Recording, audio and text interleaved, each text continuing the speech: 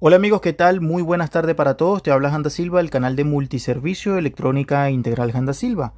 Otro videito más para recordar parte de lo que viene siendo una fuente conmutada y un componente electrónico fundamental de que cuando falla presenta un voltaje inestable o voltaje inestable en la fuente de alimentación conmutada, más conocida como SMP/S. Estamos hablando del el octoacoplador. El octoacoplador es este que está acá de cuatro terminales que sirve o que trabaja para el control de una fuente conmutada. Entonces, ¿cuáles son los terminales o prácticamente qué es lo que tiene un octoacoplador internamente? Presenta dos componentes internamente que son un diodo LED, ¿verdad? Y parte de un transistor bipolar. Entonces, ¿de qué lado va cada componente? Bueno, te cuento. El diodo LED va con respecto a la parte fría de la fuente, mientras que el transistor va hacia la parte, básicamente, de la parte caliente de la fuente. Cualquiera de las dos partes que falle va a presentar un comportamiento de voltaje inestable, ¿verdad? Entonces, lo ideal siempre sería buscar el datasheet y ver cómo está integrado el componente. Es decir, cuál es su terminal 1, cuál es su terminal 2, cuál es el 3 y cuál es el 4. Pero aquí nos podemos dar cuenta que el mismo fabricante lo dice.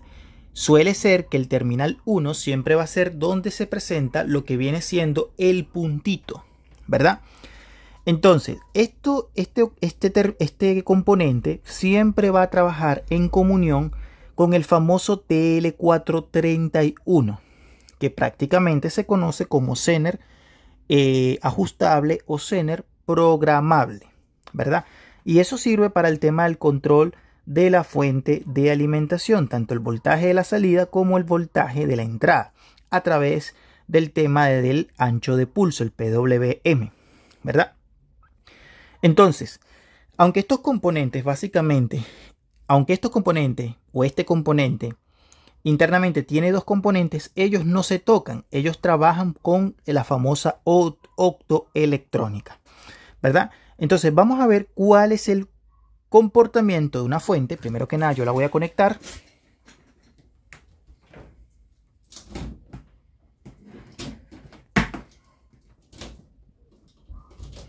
Ahí la he conectado y vamos a hacer la medición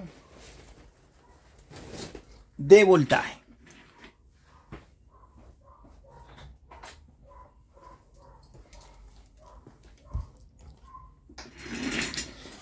Muy bien, voy a hacer la medición en la parte de lo que viene siendo. Vamos a ver si esto está aterrizado a tierra. Me paro aquí y voy a ver si está aterrizado a tierra. No, no está aterrizado a tierra. Vamos a ver si el ánodo de este diodo está aterrizado a tierra. Me paro acá. Bien, me paro acá ánodo y acá y tengo 9 voltios. A ver, ahí está, 9.5 voltios. Si me paro desde acá, ahí tengo, vamos a ver. Para no hacer un corto porque lo... sí.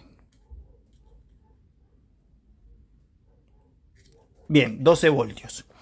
Muy bien. Eh, efectivamente, tiene voltaje y me voy a parar desde este lado a este lado. Uy, otro corto más. Y aquí se subió el voltaje. ¿Por qué? Porque el voltaje es superior. 21.5. Bien. La fuente no se daña tan fácil, amigos y compañeros, porque esta fuente tiene protecciones. Es decir, está entregando voltaje y voltaje estable. ¿Qué pasa? Vamos a suponer que la fuente se dañe y se le dañe el octoacoplador. Vamos a ver qué pasaría con los voltajes, ¿les parece? Vamos a desconectarla. Uy. Ahí la he desconectado. Y vamos a quitar uno de los terminales. Un solo terminal del octoacoplador. Yo voy a quitar el terminal 1.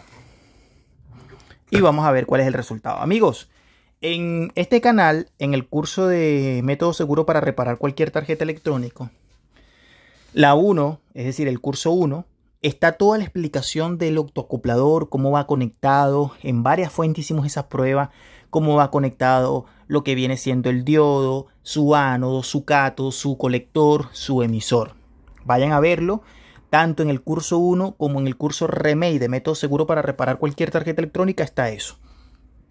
Entonces lo que voy a hacer es utilizar de manera muy rápida un poquito de estaño.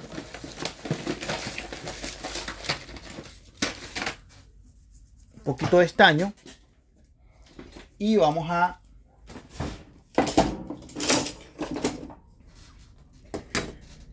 bien voy a quitarlo acá. Aquí lo veo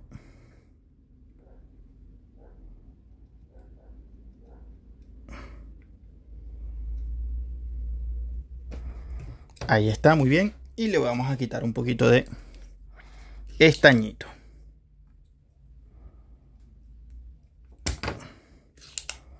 Perfecto, ahí salió.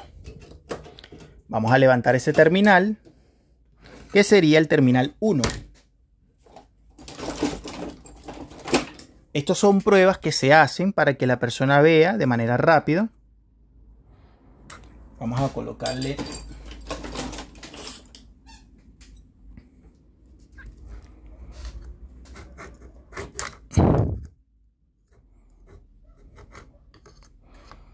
Muy bien, ya salió la terminal 1 del circuito. Mucha gente me pregunta si, si, hay algún probador que se pueda probar de manera... Ahí ha salido. Sí. Bien. Un solo terminal. Que se prueba, que se pueda probar el octocoplador. Sí. De hecho, tengo la herramienta en este canal. Busca probador de octoacopladores. ¿Ya? Muy bien. Vamos a ver ahora cuál es el efecto. Conecto.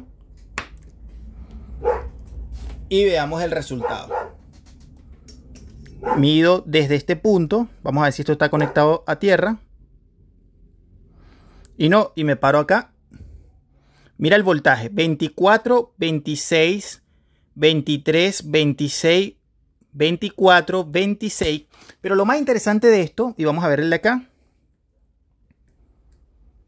Mira, 11.4, 17, 11, bajó 13, 12, es decir, fluctuante. Pero lo más interesante de esto es que yo voy a agarrar y le voy a colocar una carga.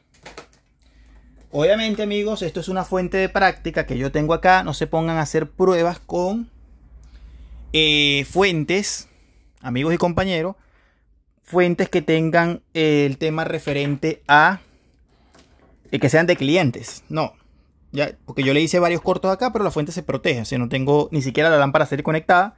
Y observa esto. Vamos a ver que acá, poniéndole una carga determinada, vamos a ver si... No, este no me está agarrando. Voy a colocar el conector desde este punto. Vamos a ver si puedo. Ahí está. Y le voy a aplicar en el medio. Fíjate, mira lo que pasa con el foco. Mira lo que pasa con el foco. Mira. No está manteniendo la carga. Es decir, no es constante. No la mantiene. Está titilando. ¿Verdad? Y vamos a ver qué pasaría con el otro caso. Aquí en el medio observamos, por ejemplo, uy, con mucho cuidado, vamos a aplicar acá. Sería, vamos a ver si puedo ponerla ahí con cuidado sin hacerle un corto.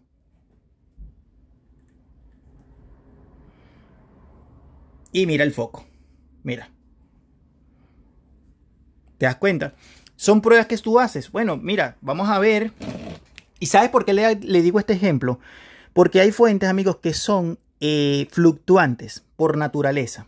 Cuando no tiene la carga son fluctuantes. Cuando le colocas una carga se paraliza la fuente es decir, se estabiliza. En Samsung ocurre mucho. Ya, entonces amigos y compañeros, esta es la prueba de cuando un octocoplador está en mal estado. No sostiene la carga. ¿Ya? Pero hay fuentes que vienen con este modo de que las fuentes son inestables cuando no tiene la carga. ¿Ya? Suscríbete al canal y comparte la información. Una prueba más en este fabuloso canal de electrónica. Bendiciones para todos. Muchísimas gracias por su apoyo.